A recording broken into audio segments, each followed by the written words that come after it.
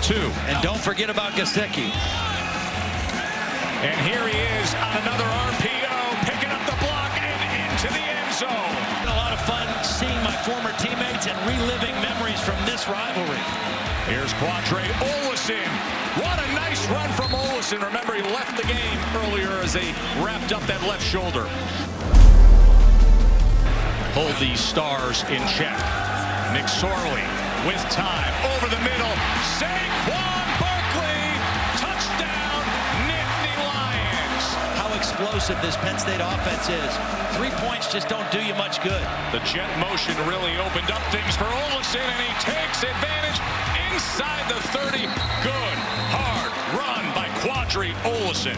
He's going to do a great job getting to the second level, picks off the linebacker Cabinda, and then good hard running by Ollison. Blitz with the safety there, and Ollison on the shovel, and that was well timed.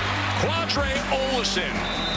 Watch how long he keeps his ball in the belly on the fake. That fooled the Penn State defense, and Ollison able to get it and go straight up the field for a nice game. Made his presence felt. Here he goes. DiNucci with the cut and with the score. One and done.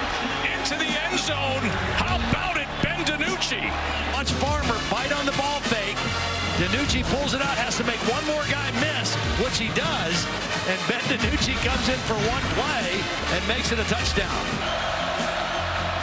DiNucci shovel pass. Ollison. Yeah, And they're giving it to him. Breaks the plane. Pin that punt for Penn State. Is that a safety?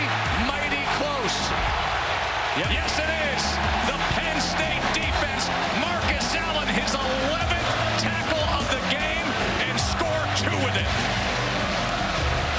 The ball has to be completely out of the end zone, and what a tackle by Marcus Allen. The right tackle, Jaryd Jones-Smith, not able to get a piece of him.